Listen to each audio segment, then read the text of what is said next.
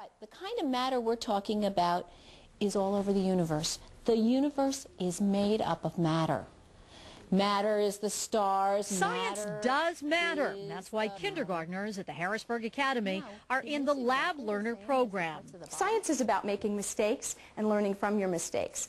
And that's how children learn. And they need to start those thought processes all the way in the beginning at kindergarten.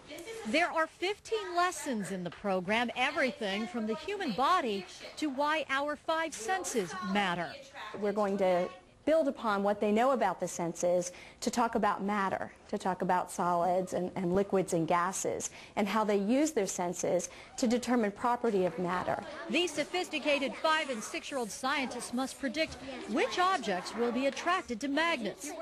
You ask a question, um, you make a prediction, you, you take what you know and make a prediction, and then from there um, you figure out, do an experiment, find out what's true, talk about the results. That's exactly what these critical thinkers did. They put their predictions to the test. Were they right? And the wood block?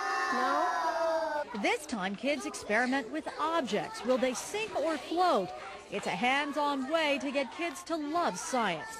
Even if they don't remember um, liquids and solids and gases, they remember the process they went through in order to learn that.